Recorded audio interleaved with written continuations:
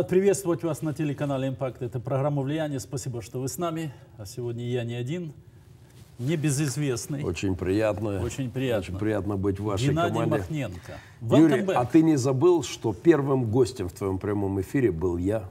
Это было 10 лет назад. Это было миллион, три жизни тому назад это было приблизительно. Если это не в Сиатле было или здесь было? Нет, это было здесь. Первый здесь прямой эфир, Это который ты было. вел отсюда. Вот я был у тебя первым гостем. Я помню, как все сильно волновались, и все это, но все прошло неплохо. Здорово. Я просто хочу поздравить тебя с тем, что вот много лет твоя... А первый мой приезд сюда, я встретился с тобой в ресторане. В ресторане. И ты рассказывал о Александром. мечте, о телевидении, Да, да, да, да, о мечте Алекс Лысенко. Да, да, да. И, и это звучало как что-то нереальное. Просто оглядываемся назад и говорим, спасибо Господи, прекрасная студия, чудесная аппаратура, команда, все. Так что мечты сбываются. Поздравляю. Ну, я благодарен Богу.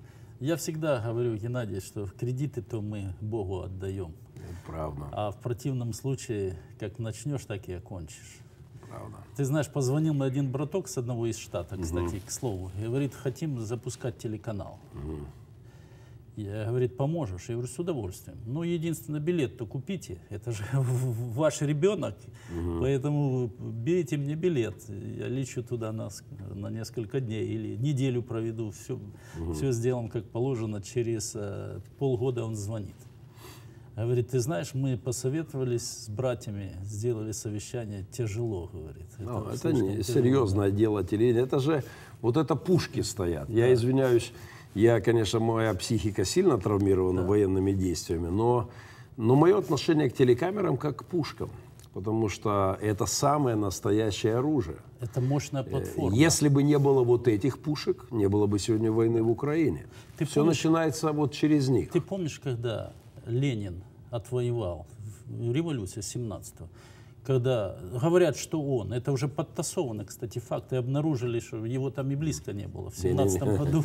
Он подобрал, Он э, подобрал. революцию Да, на совершенно. петербургском Ну, асфальте. ну и якобы он кричал, чтобы захватили первым. Это телеграф. что телеграф, и конечно, да. конечно. То есть это мощное оружие. Поэтому... Поэтому люди, люди, кто думает, что это легко. Я, я с телевидением занимаюсь много лет. Когда мы начинали нашу церковь 25 лет назад, мне Господь сказал, что я буду заниматься телевидением. И у этого длинная история, но я пришел на местный городской телеканал э, в пиджачке за один рубль, купленный в гуманитарке, но он был цвета фламинго. Тогда такое носили да. только О, да. крутые. О, да. Но на ногах была проблема. Эти были войлочные ботинки с молнией посередке. Их называли «Прощай молодость» модели. И я решительной походкой зашел к директору телеканала, быстро приблизился к столу, пиджак впечатляющий, но думаю, обувь не видит, выгонит, скажет, басота, иди отсюда. Я говорю, я хотел бы заниматься телевидением. Он сказал, сколько вам надо времени? Приходите, начинайте работать. И мы начали наши программы, брали телекамеру в Днепропетровске, на ночь Это, привозили. кстати, какой год был? Это было 92-й. Привозили камеру на ночь из Днепропетровска, ночью снимали программы, на видеомагнитофонах все это монтировали. Сейчас молодежь под угрозой смертной казни не разберется, как это. Ну, разве что Федор там у тебя специалист, да. Э, И утром отвозили камеру назад. Но это смотрел Мариуполь, и первые люди слышали Евангелие и каялись. И, э, ну, я еще не знал тогда, что о нашем служении снимут десяток, уже полтора десятка фильмов. Фильмы лауреаты кинофестивалей, международных кинофестивалей, вплоть до Голливуда. Кстати, последний. Вплоть до Голливуда. Последний, вот ты положил мне на стол. Что это такое? Это голливудский фильм а, обо мне, о моем служении, о нашей работе. Э, Когда я говорю голливудский, это не просто звук. то есть, и Мы боимся, Да. кстати, ты не пугай.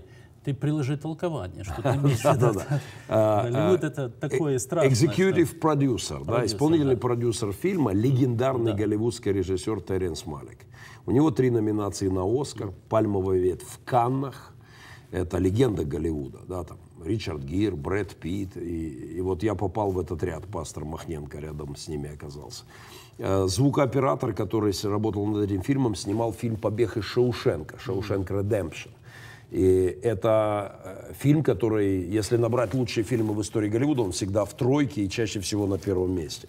Э, композитор, который написал музыку к фильму, он, у него Оскар за фильм о Цукерберге Social Network, да. социальная сеть, и Грэмми Award. То есть это легендарный э, режиссер фильма Стив Хувер, э, победитель Санденс фестиваля.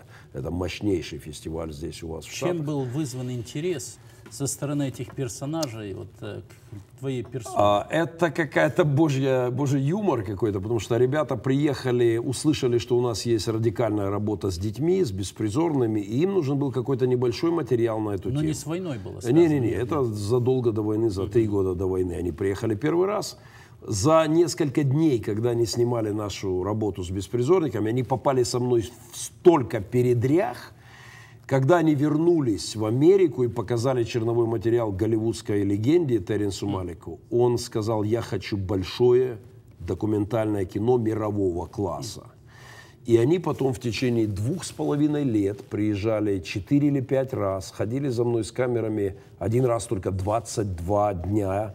Вот просто ходят с камерами и снимают все.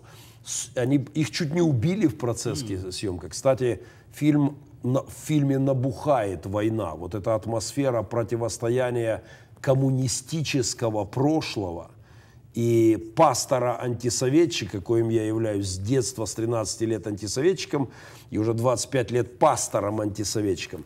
И там в фильме заставка роскошная такая, когда профиль Ленина с Востока, и потом мой профиль в Запада. Режиссер очень четко увидел причины войны в Украине, которая грядет. Ну и надо сказать, что режиссер вовремя умчался из Украины. Их чуть не убили, уже начиналась заваруха. И они вылетели из Донецкого аэропорта за сутки до того, как аэропорт был захвачен и начались бои. Они спали ночь, голливудские звезды спали на спальниках в Донецком аэропорту за бронированными дверями. Это экзотика. На, да, абсолютно Впервые на, на полу. в жизни, да. Их реально чуть не убили, они чудом живые остались. Геннадий, а, мог ли я видеть фрагменты на одном из, а, а, если наслышано это кинокомпания Russia Today, угу. телевизионная всемирная Но сеть. не этого фильма. Не этого, Russia да? Today сняла обо мне два фильма. Я, я видел два фрагменты, где-то, я не помню, где, в каком-то из штатов, и случайно э, Я думаю, что вот, вот да? здесь щелкая. на флешке, которую я тебе с радостью я ошибся, оставляю, да? я не здесь ошибся. есть как минимум один фильм Понятно. Russia Today. И попрошу заметить, фильм Russia Today – Э, фильм об украинском священнике с, мягко говоря, достаточно жесткой позицией по поводу Раши Today в том числе. Да. Они сняли два фильма о нашей работе. И во время войны фильм, э, фильм «Отец-сирот» получал награды на российских кинофестивалях. Э, это интересно. Кстати, вот этот фильм голливудский получил гран-при во время войны на, российском кино, на крупнейшем российском кинофестивале документальных фильмов Art Dog Fest. Получил в разгар войны гран-при, главный приз в России. Э, и это при том, что э, фильм о мариупольском украинском священнике с жесткой антикоммунистической, антикремлевской позицией – и этот фильм «Российская интеллигенция» э, вот, дала гран-при единогласно, жюри проголосовало среди множества фильмов. Здорово. То есть это интересно. Вот если но, говорить но, об импакте, ну, о влиянии, ну, да? Ну так они, они, э, позволь задать вопрос, они только так словесно благословляют или они действительно поддерживают? Ну, документальное образом? кино это не, ну, не да, ну, приносит понимаю, да, никаких да, дивидендов. Да. Но тем не менее, ни Голливуд не заплатил мне никаких Понятно. гонораров, да. Э, но это фильмы влияния. Это фильмы влияния. То есть это, э, этот фильм прошел по всему миру по кинофестивалям. Я получаю письма со всего мира от людей, которые смотрели фильм о священнике. Здорово. Ну, мягко говоря, не кабинетном священнике, да. да, то есть о нашей радикальной работе с людьми, о нашей борьбе с наркоторговлей. Кстати, сейчас сниматься еще один фильм начали о нашем служении. Вот смотри, 25 лет назад Бог сказал мне, будешь работать с телевидением. Оглядываемся назад. Через месяц я уже снимал программы на местном мариупольском телевидении, хотя у нас не было ни своей камеры, один свой видеомагнитофон был. Потом у нас начали снимать сюжеты городские телеканалы, национальные телеканалы, национальные ток-шоу да, с миллионами телезрителей. Потом у нас начали снимать фильмы, другие люди, другие режиссеры. И я сбился со счету, сколько снято фильмов. И эти фильмы лауреаты международных кинофестивалей. В конце концов, Голливуд снял фильм. И сейчас готовится к съемкам еще один фильм. Фильм будет называться «Республика Пилигрим». Это триллер, боевик – фильм на базе, как это, основан basic on true story, да, или что-то да. в этом роде. Основан на реальных событиях. Это фильм о мариупольском священнике э, с детским центром беспризорных, который противостоит наркодилерам и их покровителям в милицейской одежде. Пастор. И ты в главной роли с ним. Я не играю, слава богу, не играю. У меня нет на это ни сил, ни времени, война на пороге. Э, но уже главную роль меня будет исполнять э, польский очень известный актер, уже дал добро такого первого ряда. То есть двойник? Ну да, актер профессиональный. Они сейчас подбирают. Я не читал сценарий, разрыдался, потому что это реальная наша история войны с наркодилерами в моем городе, в других городах Донбасса, в Украине в целом. Мы подняли волну протестов против наркоторговли. Здорово. Мы пикетировали президентскую администрацию, мы пикетировали кабинет министров. Мы добились изменения законов Украины, которые крышевали наркоторговцев. Мы добились арестов ментов. Есть милиционеры, а есть менты. Да. Мы добились ареста наркоторговцев. А, это, это большая была история. И вот сейчас они снимать будут очередное кино, художественное угу. кино, детектив, триллер. Ты только с Украины. И проскальзывает, я так э, в речах твоих слышу, проскальзывает периодически война, война, война. Мы не по плоти воинствуем, говорит Писание. Как тебе э, удается сочетать в себе служение пастыря, который по, по большому счету несет, э, ну, по крайней мере, должен нести в себе мир, любовь, ми, то есть миролюбие, то есть все, что связано э, с миром, дружелюбием, восстановлением, восстановлением отношений и прочее. И, и вместе с тем, будучи капелланом, вот каким образом, а капеллан для многих из наших зрителей, наверное, это такое, это ну, название. Ну, что называется, работайте со зрителем. Совершенно верно. Давайте объяснять зрителю, Совершенно. о чем идет речь. То есть ты, а, ты был одним из первых капелланов в а, армии. В, в Мариуполь, сектор Мариуполь на линии фронта, моя капелланская команда каждый день на фронте всю войну. Три года война из, видна из моих окон. Я бываю на фронте минимум два-три раза в неделю. И мы несем капелланское служение э, для солдат и для жителей, которые оказались вот заложниками войны. И э, пастор не только должен нести мир, не только должен нести нежность и любовь, он еще должен нести правду. На войне очень тяжело остаться человеком. И задача капеллана, главная задача капеллана, это служить, служа солдатам, сделать так, чтобы люди остались людьми. Вот то, что я говорю солдатам в окопах. Наша задача остаться людьми посреди кошмара. Люди звереют на войне легко. Люди теряют человеческий облик. И то, что я говорю, мы не, мы не можем превратиться в зверей. Мы должны остаться людьми, иначе Бог отвернется от нас. И это непростая задача на самом деле, когда солдат хоронит своего друга, когда, э, когда издеваются над его друзьями, это попавшими в плен, да, то люди легко звереют на войне. Капеллан а... молится и помогает, помогает солдату оставаться человеком. Но, тем не менее, капеллан, он дает присягу на верность заветам? А, нет. Нет, не нет. дает. Нет, Понятно. у нас сегодня капелланское служение в Украине, это оно как бы достаточно свободно. Э, я не являюсь капелланом, который обязан сидеть в окопах и там прикреплен какого. Есть такие капелланы, которые прикреплены к какому-то подразделению на какое-то время. Я, что называется, в свободном плавании, то есть я еду на фронт, помогаю чем-то и потом возвращаюсь домой. Но есть мои друзья капелланы, которые живут с солдатами неделями. Ну вот, вот и... мы служили, в... ты служил в советской Конечно. армии? Московский гарнизон пожарной охраны, Понял. учебный полк ДМБ-89, старший сержант Махненко. Понял. Меня, меня из Западной Украины отправили на, в далекую Сибирь из-за того, что я сразу а, резко принял решение не принимать присяги. И отправили туда. Понятно, мы были в тылу. То есть ты считаешь сегодня, ты как в тылу, да, молишься за людей, вот ты себя считаешь в тылу. Потому что на передовой э, с ружом ты не можешь быть, я так понимаю. Ну, я не взял в руки оружие, да. хотя э, я понимаю, что сейчас я обижу огромное количество телезрителей, но э, я оставляю за собой это право в случае, если город будут штурмовать, я не смогу просто убежать. Я вывезу детей, женщин, но я оставляю за собой право снять пасторские полномочия, потому что это все-таки развилка. Ты или солдат, или, или пастор. Да? Но я оставляю за собой право, если не дай Бог будут дальше пытаться штурмовать мой город, снять пасторские полномочия и стать рядом с солдатами уже в качестве не священника.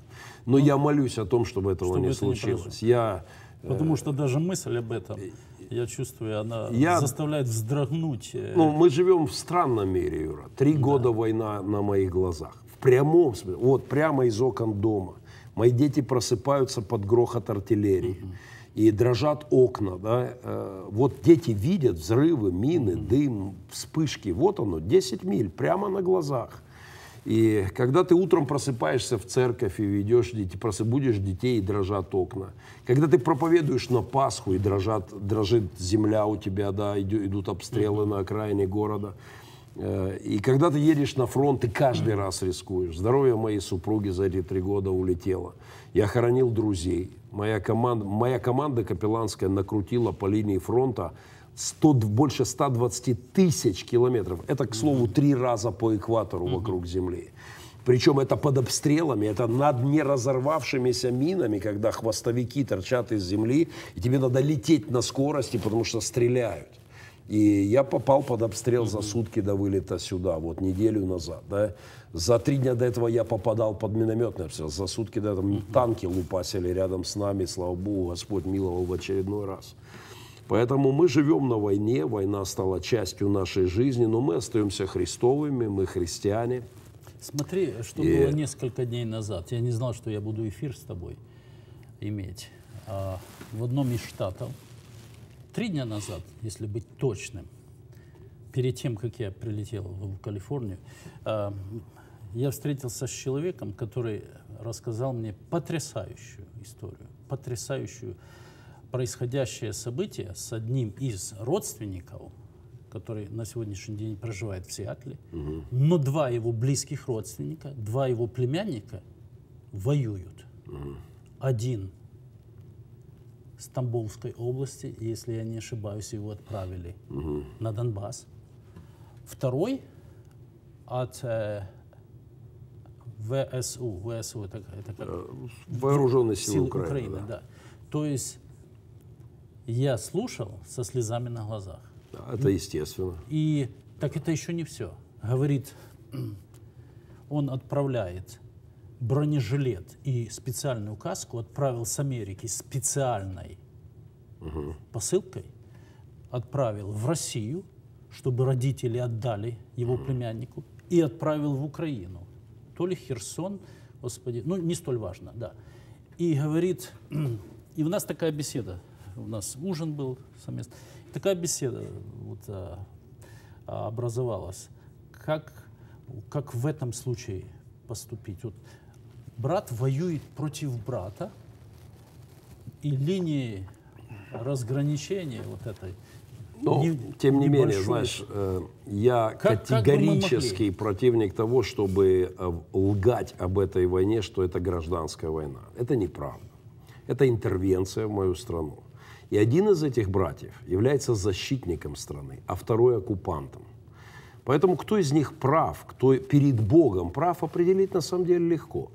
Если мы с тобой сидим в этом студии, а тут у вас рядом, я так понял, какие-то адвокаты крутые есть, находятся. Есть, да. И мы с тобой сидим, думаем, так, что-то нам денег не хватает, пойдем-ка мы у адвокатов сейчас там выбьем двери и ворвемся, объявим их офис нашим, убьем пару человек, заберем там у них э, денежку, да, мы злодеи, мы бандиты.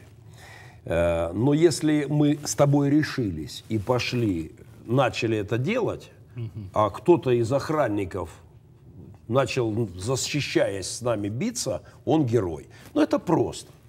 Понимаешь, э, это не гражданская война, и это абсолютно важный факт, принципиальный факт.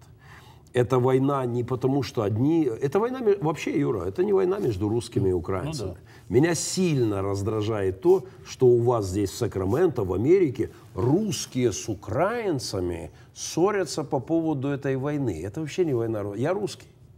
У меня мамка из-под Питера, батя из-под Курска. Я не говорю по-украински. Э, в окопах в Широкино сидят солдаты украинской армии э, из Львова и из Мариуполя, Донецка, Харькова рядом, плечо к плечу. Они отдают жизни друг за друга. Это не война русских с украинцев, как здесь иногда многим кажется. Это война режима, умирающего с моей точки зрения, э, КГБшного против моей страны, попытки моей страны вырваться в новую историю. Э, в этом суть этой войны. Хотя, конечно, многие со мной не согласятся, многие будут рвать на себе рубашки кричать о гражданской войне. Это неправда. Нет, я вот э, позволь себе, я, наверное, больше русский, чем я украинец тоже. Но, тем не менее, я на стороне Украины с головой. Мне задали недавно вопрос, говорит, слушай, как ты думаешь, говорит, я смотрю за министром иностранных дел России, угу и говорит, везде пишут, что он там ездит, встречаются, в мире говорят, где-то в Минске, везде, в Вашингтоне, в Нью-Йорке, везде там. Вот. И говорит, по, мне человек говорит, по-моему, говорит, он постоянно проводит время э, на море. Я говорю, что ты взял? Смуглая, постоянно смуглая э, цвет, цвет кожи. Хм. Я, я знаешь, как ему ответил? То, что он ездит, это однозначно. То, что он мало на море бывает, это однозначно. Я говорю, знаешь что? Представь себе, себе, что надо постоянно врать. Каждый день надо врать. И так врать. Да. И вот смотри, смотри. Ты видел где-нибудь, я говорю, а, воплоти нарисовано какими-то кукруниксами а, какого-то демона светлого? Говорит, не видел. Я прошу прощения за фольклор, я принимаю фольклор в эфире, принимаю, принимаю, да, применяю, да. Но тем не менее, говорю, это же постоянно, цвет лица даже меняется от этого. Это даже э, научно обосновано. А, И поэтому я к чему? Я, я на сто процентов разделяю э, а, вот твое мнение и мнение многих о том, что это не, э, не просто война братоубийственна. Нет. Здесь идет конкретно система, система, которая, которая уничтожила десятки миллионов людей, десятки миллионов и наших отцов, да. и в тюрьмах наила. Это война об этом. Несомненно, Это война об этом. Знаешь? Единственное, что печалит мое сердце, и твое, и очень многих служителей, когда между церквами, между российскими церквами, вот, со стороны России а, по отношению к украинцам верующим и наоборот. Вот, вот, вот это вот э, желает быть а, намного лучше. Это действительно в тебя есть свое мнение. У знаю, меня, да. конечно, есть, есть свое да. мнение. Я считаю преступным поведение церкви в России, которая не может осудить интервенцию в Украину и братоубийственную бойню. Я считаю это преступлением. Людям врут по телевизору. Телевизор рассказывает, что там нет российской армии и так далее. Пастора 90% знают, что это неправда, что это вранье. И пастор должен, с моей точки зрения, в России выйти за кафедру и сказать, братья и сестры, вам врут по телевизору, это интервенция, и я ее осуждаю. Запретят проповедовать. А, ничего подобного. Есть у меня десятки классных пасторов в России, которые это сделали с первого дня войны. Никто им не запретил, никто не арестовал, три, как в 1937 году среди ночи. Они спят в обнимку с своими женами, но они не отдали правду. Ведь, понимаешь, правда такая штука, что если мы не говорим правду ради выгоды, то мы вообще перестаем христианами быть. Потому что есть христианство, это религия правды, истины, а есть прагматизм. Кстати, самая господствующая религия да. в мире сегодня – это прагматизм. Истина было. то, что выгодно. Да. Если мне не выгодно, значит, я не буду. И это страшно, когда церковь становится не христианская, а прагматичная. У меня огромное количество друзей в России. Я люблю Россию. Это для меня такая же родная страна, как и Украина. Я сегодня был на радио, их вот просто повторяю для телезрителей. Выберите, пожалуйста, я готов вот в этой твоей студии провести соревнование. Выберите в Сакраменто 10 самых сильных, самых любящих Россию братов. 10 против одного. Сыграем в игру. Вот я приглашаю прямой эфир. 10 любить таких, кто прям рыдает «люблю Россию». И я, я тоже люблю Россию. Я тебе гарантирую, я выиграю у них публично по параметрам, кто больше любит Россию, у десятерых в сумме. Простой пример.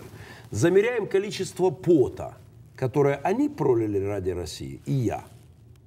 Вот они в сумме 10 человек. Сколько они пропотели ради России и сколько я пропотел. Я один огромную им дам фору за три года перед войной. Я проехал на велосипеде с сынами всю Россию до Владивостока из Мариуполя в Киев, из Киева в Москву и через всю Россию. В каждом городе пресс-конференции, служения, концерты, выступления, круглые столы, прямые эфиры, огромное количество служений, выступлений. Да? И я терял сознание от любви к России. Меня откачивали под капельницами в полуомрачном от переутомления. Я пролил декалитры пота. Прям 10, 10 декалитры. Декалитры. Я очень здорово потею ну, да. каждый день. На против... полгода своей жизни под в жару 40 градусную, в бешеный ветер, в огромное количество ливней, когда тебя типает, усталость такая, что темнеет в глазах. Меня откачивали под капельницами от переутомления. Берем десятерых, кто кричит, Махненко не любит Россию. Соревнуемся. Где вы? Я зову вас сюда. Давайте состязаться. Они столько пота не пролили ради России, как я. Хотя, давайте плод померяем. Возьмем 10. Какой плод этих людей в России? Я могу похвалить. Знаешь, как апостола довели однажды? Да. Он говорит, буду хвалиться. Да. Да? Да. Вот, э, послушай, неразумие. Сегодня говорит, да. утром в России проснулись сотни, сотни, у меня письма, фотографии, истории, видеофильмы, сотни детей, бывших сирот, которых усыновили, их забрали в христианские семьи, сотни инвалидов, ВИЧ-инфицированных. А их забрали, и их приемные родители говорят, пастор Геннадий, вы помогли нам решиться, вы помогли нам переступить через страхи, мифы, и у нас есть чудо в семье. Это детские семейные дома, это приемные семьи, это, это опекуны и усыновители. Э, найди мне 10 людей, которые могут похвалиться таким плодом в России в сумме. Я тебе Понимаешь, так скажу, пастор. Я, я люблю тебе... Россию. Я... я ненавижу коммунистический ну, КГБшный да. смотри, дух. Смотри, э, однозначно, да. Тут у нас не может быть двоемыслия. Э, российский народ – прекрасный народ. Славяне это потрясающие люди, украинцы, белорусы. Там, мне кажется, лучше вот этой троицы, лучше нет. Вопрос не в том, о том, что э, любим ли мы нацию или ненавидим нацию. Вопрос в том, что э, тот продолжение того дьявольского режима, дьявольского, демонского, сатанинского режима, который хваткой вот так он хваткой, мы это называем такой мертвой хваткой, вцепился э, в то, что названо самоопределением любой из наций на независимость, ну, он вцепился. Я не называю, я не обобщаю, не называю имен. То есть я имен не называю, я обобщаю. И э, в этом, наверное, у меня в унисон с тобой полное а, единомыслие, полное, не может быть двоих. У наших прекрасных народов есть одна огромадная вина перед Богом. Мы до сих пор по-настоящему не, не раскаялись да, за советское да. прошлое. Улицы Ленина, проспекты, слава Богу, в моем городе, Нет. несколько месяцев назад – Исполнилась мечта моего детства. Я антисоветчик с 13. Я прочитал один день Ивана Денисовича в 13, рассказы Шаламова в самоиздате и запустил первый помидор в портрет Ленина, когда мне было 13. Я мечтал о том, чтобы коммунистическая идеология была приравнена к фашистской, потому что это близнецы-братья. И только в этом году прошедшем это случилось. У меня больше нет проспекта Ленина в городе. Это проспект мира. У меня нет площади Ленина, это площадь свободы.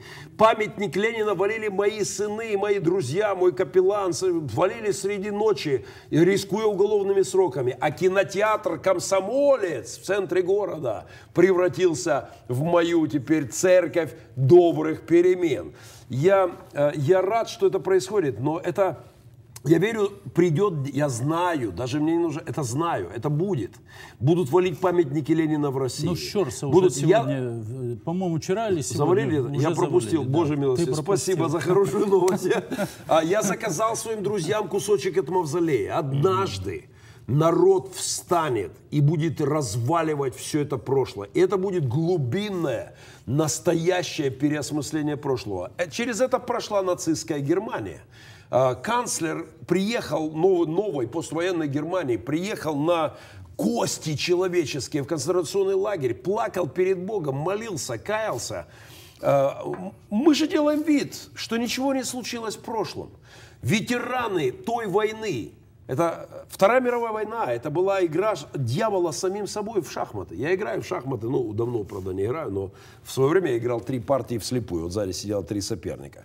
У шахматистов есть изысканное такое удовольствие, это называется игра в шахматы с самим собой. Да. Это просто, ты делаешь ход за белых, потом разворачиваешь доску, Да. думаешь, ох, какая неожиданность, и, и делаешь ход за черных, потом ты думаешь, что же он затеял, и ты играешь сам с собой. Это, ну, скажем, высокоинтеллектуальное такое э, развлечение, элитарное интеллектуальное развлечение. Так вот, Вторая мировая война – это игра дьявола с самим собой. С одной стороны, он взрастил, выпистывал фашистскую систему, с другой – не менее демоническую коммунистическую. Потом они начали делить мир между собой, потом они не поделили и бросили миллионы людей в бойню. Мне грустно, что мой дед, вернувшись из Берлина, не пошел прямо на Москву что закончив с фашистами, он не, по- не закончил со своими друзьями-ветеранами, со Сталиным и советской системой. И по этой причине еще 70 лет она издевалась и продолжает издеваться над ветеранами. Когда у премьера, премьер-министра России виноградники в Тоскане, во Флоренции, в Италии, фильм на той неделе опубликовали, да, две площади Ватикана – Папу римского сделал, дважды сделал. Два Ватикана, у него виноградники в Тоскане, а ветераны той войны, нищие, доживают свой век в этих квартирах вонючих с клопами. Понимаешь, я, мне грустно, что мой дед, победивший фашизм, не смог одолеть коммунизм. Ветеранов прямо из концентрационных лагерей отсылали в сибирские лагеря, они там умирали, отдавали. А, а вот эта система еще 70 лет издевалась и издевается сегодня у меня под Мариуполем в городе. Издевается сегодня. Поэтому я знаю, придет день, когда Белоруссия, Россия публично покается. И не просто внешне, серьезно покается. Прянут ото сна. И, и, и- и это, это будет начало новой Ну, истории. ты думаешь, на обломках имя твое будет написано? О, я очень надеюсь. Меня, ну, я здесь на днях, мы были в церкви, в Grace Family, и вместе со мной вечером на служении был пастор, во время проповеди которого я покаялся 26 лет назад. Видишь? Баптистская церковь, да. здесь. Он, мы пересеклись в Сакраменто. Он недавно был у меня в Мариуполе, я у него в Киеве. Николай Иванович Пономарев, замечательный божий человек, отец приемных двоих деточек. И сейчас у него большой проект по усыновлению, тоже семейные дома. Но я к чему? И мы, э, когда мы сидели после служения, общались, он говорит, Геннадий, скажи честно, ты больше ждешь второе пришествие Христа или конец коммунистической эпохи и духа? Я говорю, Николай Иванович, тебе как духовному отцу врать не буду. Жду пришествия Христа, но перед этим хочу увидеть, как разнесут мавзолей. И памятники Ленина развалят по, всей, по всему бывшему Союзу. Друзья, мы в прямом эфире. Геннадий Махненко со мной. Это руководитель служения э, «Пилигрим». Республика Пилигрим, Пилигрим. государство бывших беспризорных. И, и это э, тот служитель, который вы уловили, не меняется. То есть ты не меня последние года, я тебе знаю. Ну, ты- морщины ты не- пошли, Ну, седин- это не- седины, я не о том. животины, Я бочины, не о том, да. лысины, Ты не все пошло, все пошло. Смотри, этот пастор Пономарев, он предварил мой вопрос. Вот давай перенесемся из этой плоскости в духовную плоскость. То есть более духовную плоскость. Наряду со всеми вот этими вот потрясениями, ужасными, вот то, что происходит. э, Точно так, как Христос сказал в 24 главе, что будет в последние дни, да? И недоумение в народах, и войны, и смятение. И море вас шумит и возмутится. только не будет. Коим образом, Коим образом ты видишь свою роль как духовного лидера? Давай войнушки оставим в сторону. Оставили. Да? Как духовного лидера. Каким образом ты видишь свою роль? Э, например, смотри, что бы мы ни говорили, что Украина свободна, ну, Россия еще нет. Белоруссия тоже еще находится в цепях. Но Россия, то есть Украина свободна, да? Но... Нет, Украина не свободна. Она делает робкие, тяжелые шаги ну, да. в попытке Попытка, стать страной свободных да. людей. Совершенно. Это тяжелый процесс. То есть, но э, грех, каким был, таким и остался. То есть так. грех э, лицо свое не меняет. Он, дьявол, изощряется да. в методиках, в способах всевозможных, в путях э, и для того, чтобы погубить человека. Но э, все-таки самый большой процесс, самый огромный, я так понимаю, вес, который э, имеет церковь, то есть христиане имеют, как церковь в Украине, это все-таки духовный авторитет, незыблемый, ну, по крайней мере, по большому счету, так должно быть. Она должна светить э, не столь АК 47, как она должна светить э, добрыми делами, безупречным святым поведением, да, проповедью Евангелия, потом э, все, что с этим связано. То есть э, ну, как мы, в общем-то, этим и занимаемся. Как насчет, знаешь, вот, а ну-ка, мы, да, в общем-то, этим и занимаемся. 20, детализируй. Ну, вот взять только мою общину. Да. Да? Это крупнейший детский реабилитационный центр бывшего Советского Союза для беспризорных. Это сеть семейных детских домов. Это центр для детей-инвалидов. Потрясающую работу делают наши люди вот из церкви, невероятную для деток-инвалидов. Да?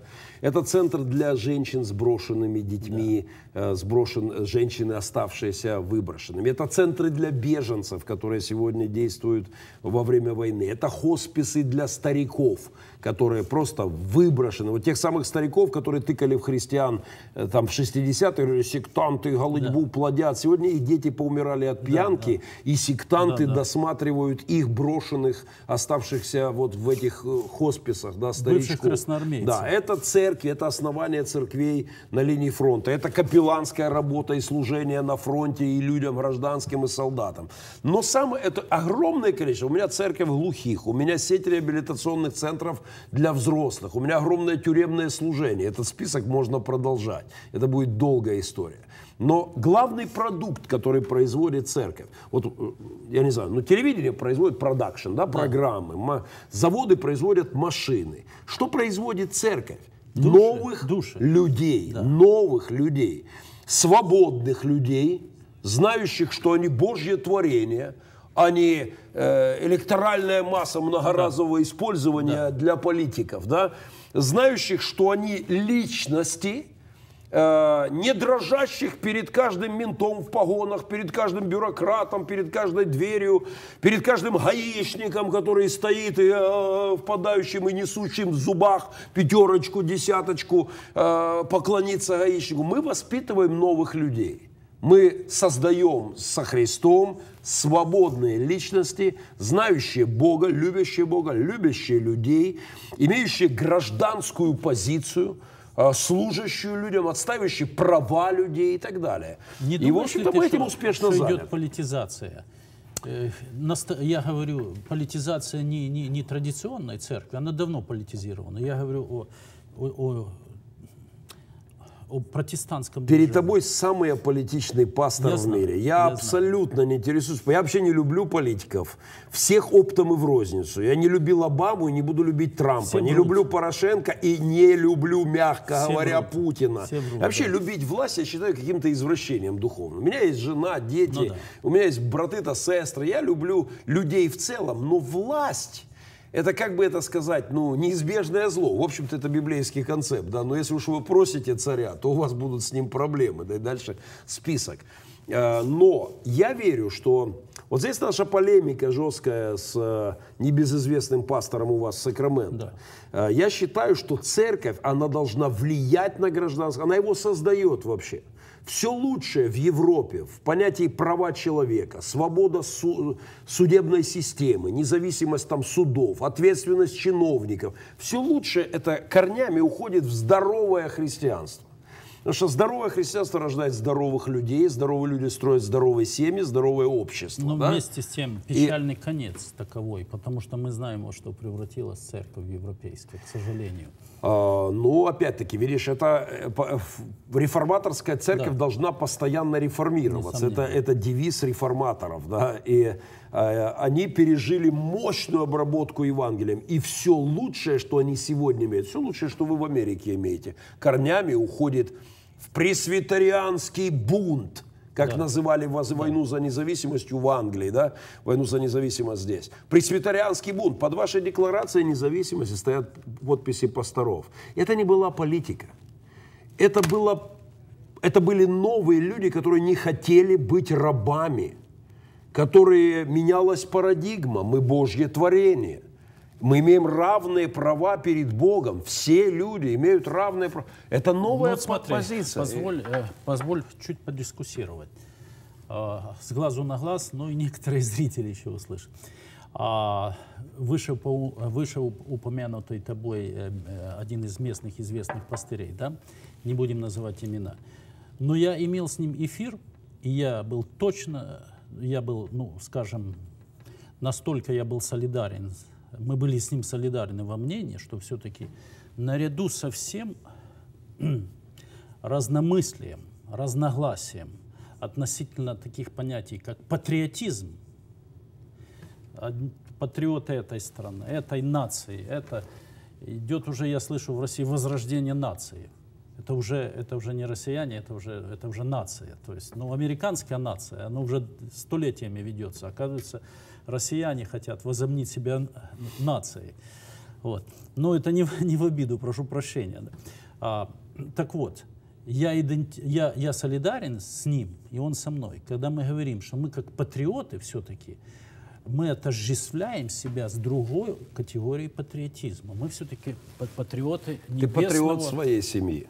Ну а как же? Ну, конечно. Ну, да. Что в этом плохого? Ничего плохого нет. А, вот я патриот своей страны в такой же степени, как патриот своей семьи. А ты не, Понимаешь, не, не есть, замечаешь, есть э, эгоизм. Пастор, не замечаешь, что крен образуется? У меня нет. нет. Я не знаю, у кого. Точно? У кого-то есть. У меня Точно? нет. Окей. У меня нет. Я люблю все народы. У меня есть приемные дети в Африке, ну, названные неофициально приемные. У меня есть, э, у меня цыгане есть приемные, у меня русских много приемных. Да, у меня, у меня полный интернационал в моем доме. Есть евреи, есть все. Э, я, из меня такой националист, что это смешно, понимаешь? Но я люблю свою семью. И это не значит, что я не люблю другие семьи. Ну, твоя я семья, патриот ну, моей да. семьи, ну, конечно. Твоя семья, ты говорил, Россия. А, если говорить о родине, да. у меня, для меня родина и Россия, и Украина. Я русский по этнически, у меня батька из-под Питера, мамка из-под Курска. Но я родился и вырос в Украине. И это для меня родные страны. И моя позиция в этой войне, это не позиция украинского националиста, нет.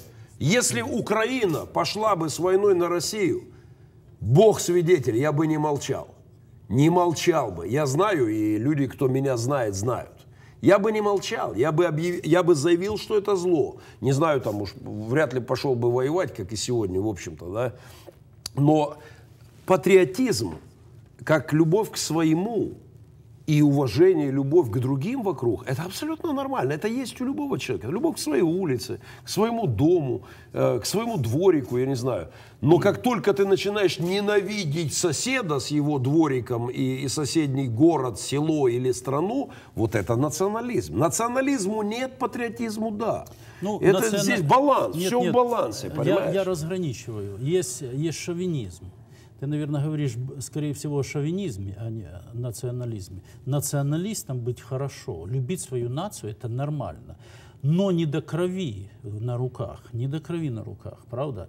И не с АК-47 э, за плечами. Поэтому, наверное, наверное, национализм – это апостол Павел настолько был за свою нацию, я, говорит, готов был э, отлучен за братьев моих по крови. Любовь к своей земле, Совершенно любовь верно. к своему То, о чем краю. ты говоришь, это крайне ярко выраженный э, национализм, это он называется шовинизмом. Это то, что проис- происходило Ну, сегодня. да, здесь игра терминов уже как бы можно да. в это, да. Слова же они как, э, как Совершенно вагончики. Вопрос Поэтому то, что моя, нагрузишь. моя тревога в том, чтобы, чтобы этот крен нашего корабля, он, так сказать, не накренился настолько, Ну. что когда мы настолько дров наломаем, и потом будем... Ну. э, э, Ты не, не, не, не, Еще раз. не думаешь такими А, категориями. Это в моем случае это дуть на холодное, понимаешь? Э, Я не говорю по-украински. У меня с этим не возникло за 49 лет жизни ни одной проблемы. Я бывал на Западной Украине огромное количество. Ни одной, ни одной пустяковой проблемы. В окопах под Мариуполем русскоговорящие парни с Ну да. украинскоговорящими А вместе. что грузины? Грузи- Грузины делают в Украине, А я расскажу тебе. Ну, А ну-ка. во-первых, это не так много, я расскажу Ну, тебе. есть, есть. Я за неделю до приезда сюда в окопах беседовал с грузином. Он говорит, в 2008 году российская армия пришла, убила мою жену, убила мою мать, а, разрушили мой дом. Поэтому я приехал в добровольческий батальон. Говорит, для меня этот нынешний режим а, э, это враг. И я буду сражаться за независимость Украины. Но это единичный случай. Это в добровольцах там единицы. Да? Но это люди, которые э, в их дом приперлась та же самая э, умирающая империя, э, натворила зла, и у людей есть какие-то с ней личные счеты. То есть это не какие-то массовые явления. Э, Как Люди ты имеют думаешь, право на а это. вдруг настанет такой момент, что все-таки Донбасс будет разделен в ту или в другую сторону каким-то мирным, полумирным путем, какими-то компромиссами, и затем наступит великая тишина и воссоединение славянских народов? Э, Ты молишься об этом, нет? после покаяния и за, за то, что натворили, я верю. Знаешь, есть такой страшный стих, написанный в начале войны. «Никогда мы не будем братьями ни по родине, ни по матери». Я его перефразировал с первого же дня. Все равно мы останемся братьями и по родине, и по матери. Я верю в то, что мы переживем нынешних негодяев-политиков. Я верю, что постсоветское пространство пройдет, избавится от имперского духа, от имперских амбиций. Я верю, что пройдет настоящая духовная декоммунизация. И тогда мы восстановим отношения. Но я надеюсь, и я убежден, однажды это случится. Вопрос времени. Я верю, что однажды президент постимперской России приедет в Киев, где-нибудь на Хрещатике склонит колени, скажет, Господи, прости нас за то, что мы допустили и натворили. Или у меня в Широкино где-нибудь. Я был прекрасный поселок, э, гуляли семейные пары, детки, влюбленные, запах мяса, шашлыков, музыка. Все уничтожили. Они пришли нас спасать. Они уничтожили все. Это, это просто, ну, это миллион бомб туда, миллион мин, снарядов. Все вспахано, у них ничего не осталось. Понимаешь, за это надо кому-то покаяться, за это надо кому-то ответить. И я верю, что Я- этот я день придет. креп- А потом вернется обратно. Знаешь, конечно. почему я тебя крепко не, не, не осуждаю? Потому что нам здесь, на североамериканском континенте, на наших лейзибоях, знаешь, такой лейзибой? У меня в дома есть такой. э. Кто это а? Так развалился на лейзибой. Есть А это ленивый лейзи, да? магазин называется, мебельный магазин, где продают э, мебель. И, и так да. и называется lazy boy. Ты ноги вытянул и себе качаешься, э, кресло-качалка. Это boy называется.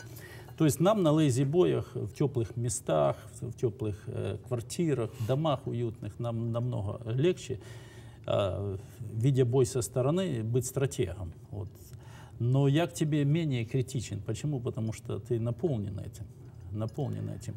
И, и, даже, и даже, то, что, даже то, что ты говоришь, будучи россиянином, но все-таки ты на стороне справедливости, то есть это вызывает некое уважение. Некое Я, уважение. я, я, я, у- э, не называя фамилии, Да. со мной в Широкино бывают русские пастора. Посреди залитых кровью украинских мальчишек э, улиц русские пастора склоняли колени, плакали и молились. Говорили, Господи, прости, что мы допустили наших вот этих вот сюда с этим кошмаром. И я верю, что это, я не могу называть их имена, да, это, чтобы их не подставлять, но это было и не раз. и не раз. И под танковый обстрел несколько дней назад я попал с братами, которые служ... в России служили по десятки лет. Да? А, это не война русских с украинцами. Это война умирающей империи с попыткой нового, с будущим. Это война прошлого с будущим. И будущее всегда выиграет. И всегда выиграет. Мы увидим перемены. Поэтому я, э, я хочу просто сказать вновь и вновь спасибо всем, кто вспоминает в молитвах. Это непростое время. Я прошел через жуткое отчаяние, страшное отчаяние. У меня опускались руки. Я был близок к тому, чтобы позвонить епископу, сложить полномочия и уйти на фронт, просто в качестве солдата.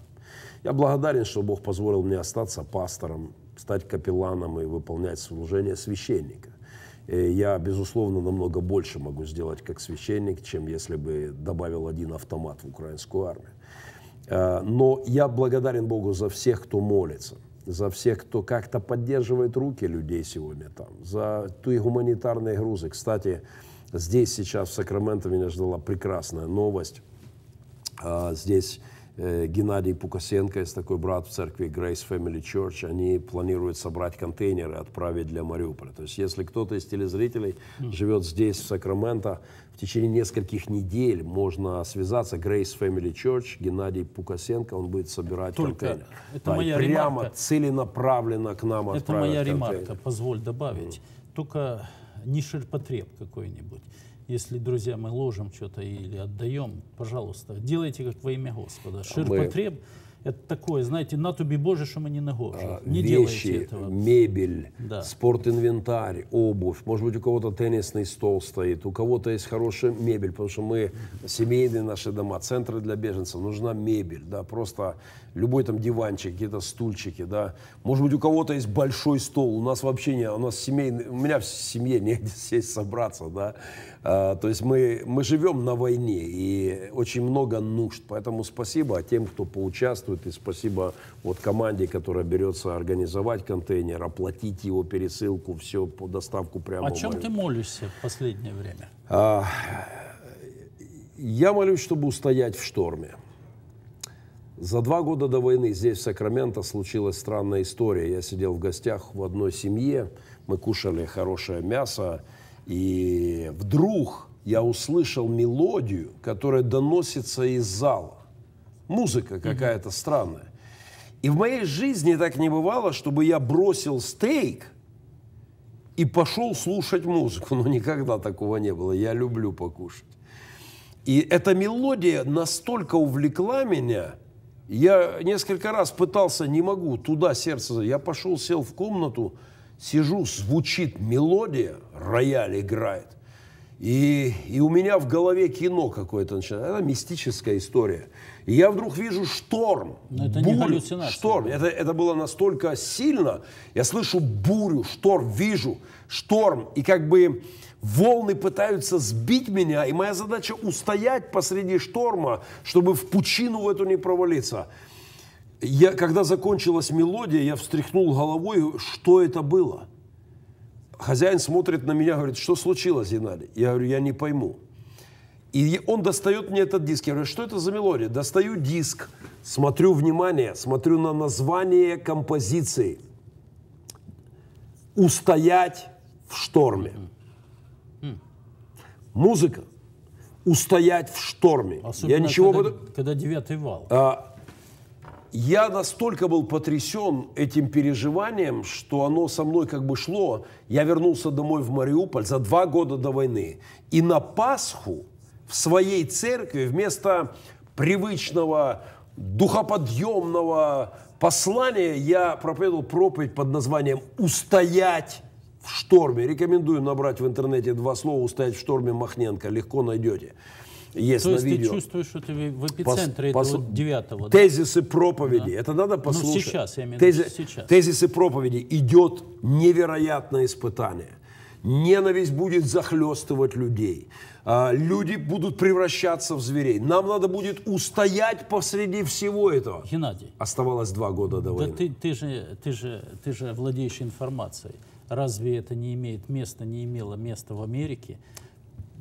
Но это касается всего мира. Но это было для меня конкретно, для моего города, потому что, знаешь, я, э, моя церковь была потрясена, пастор, что это было. И я, и я кричал, идет шторм, идет буря. Настолько... Э, нам надо будет устоять посреди шторма. А с этой проповедью, церковь не поняла проповедь. Через две недели я с этой проповедью приехал в Славянск. В моей епископской церкви я кричал. Они привыкли, что у меня в проповедях много каких-то шуток, каких-то иллюстра... и смешных иллюстраций. И я кричал к ним, идет шторм. Люди будут превращаться, нам надо устоять. Они тоже не поняли. Но через два года, когда все началось, люди стали присылать мне, ты помнишь, что ты нам проповедовал? Это было реальное пророчество. Бог предупреждал нас об этом. Сегодня моя молитва о том, чтобы устоять в шторме. Третий год я живу в буре. Ты знаешь, э, Геннадий, на этом э, давай мы окончим на мажоре. И единственный источник э, нашей крепости, нашей силы, нашей твердости в наших штормах, это уже не по, по, Ивазо, а, не, не по Ивазовскому, а уже в реальной жизни, да, это все-таки надежда на Бога. Единственное, 100%. мы должны на этой ноте с тобой кончить. Мне говорят, час видишь, как пролетел. Единственное это быть, остаться твердыми и непоколебимыми. Бог все еще Бог. В контроле. Он контролирует Он не перестал мир, быть Богом. А, Amen. То же самое в Америке. Это самый главный урок из этой войны.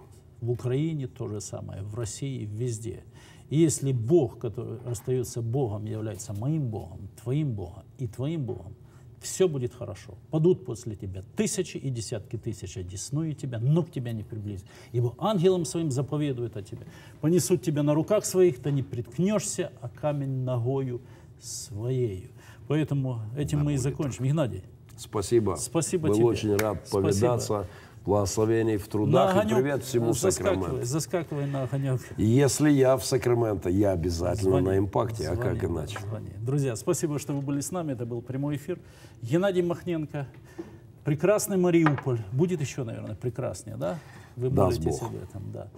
Будь, помните, Иисус Христос любит вас. Мы также любим вас. Будьте благословенны. Оставайтесь с нами на импакте.